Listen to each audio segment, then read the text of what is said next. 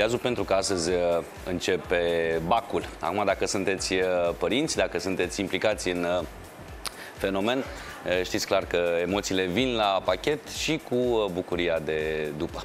Adina, neața! Bună dimineața! Numai în pantofii unui elev de clasa a 12 să nu fie astăzi, pentru că încep emoțiile mari pentru sesiunea de bacalaureat. Astăzi începe sesiunea probelor orale cu proba la limba română. Practic, uh, absolvenții claselor a 12 vor păși în fața comisiilor de evaluare și vor trebui să demonstreze că posedă uh, competențe lingvistice de comunicare orală în limba română. O am alături de mine pe Maria Manea, uh, purtător de cuvânt al Inspectoratului Școlar al Municipiului București, care ne spune spune, pentru început, ce presupune această probă de astăzi. Bună dimineața! Bună dimineața! Proba de astăzi presupune un text la prima vedere pentru elevi, uh, un text care poate să fie non-literar sau literar, cu cerințe specifice, să recunoască tipul de text, uh, să argumenteze apartenența la o tipologie, uh, să argumenteze un punct de vedere pornind de la o idee a textului. Așadar, este o probă care implică o comunicare între elev și profesor în baza textului pe care elevii îl primesc la prima vedere. Iată că anul acesta această sesiune a probelor orale nu s-a desfășurat în iarnă, așa cum s-a întâmplat anul trecut, ci ați legat-o cumva de sesiunea probelor scrise. Uh, au avut mai mult timp elevii să se pregătească?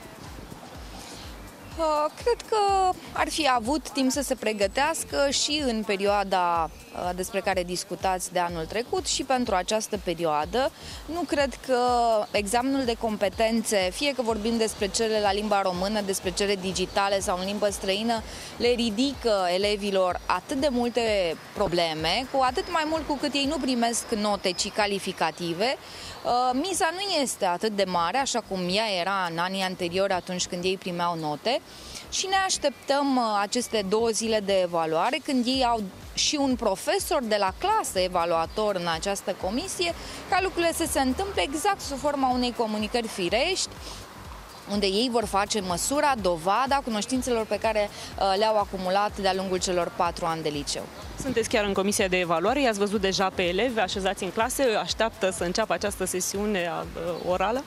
Noi am mai făcut exerciții, astfel de simulări de-a lungul orelor de limba română, așadar ei știu foarte bine la ce să se aștepte. Vorbim despre un colegiu al capitalei foarte bun, cu elevi care au obținut note foarte bune la examenul de simulare, așa că eu sunt convinsă că ziua de azi și ziua de mâine va fi o zi plăcută pe, și pentru profesorii evaluatori și pentru elevi. Chiar dacă nu se dau calificative astăzi, ci vorbim doar de niveluri de competență experimentat, avansat și mediu, nu putem spune că nu sunt condiții stricte vis-a-vis -vis de prezența în clase. Ce nu au voie să posede asupra lor?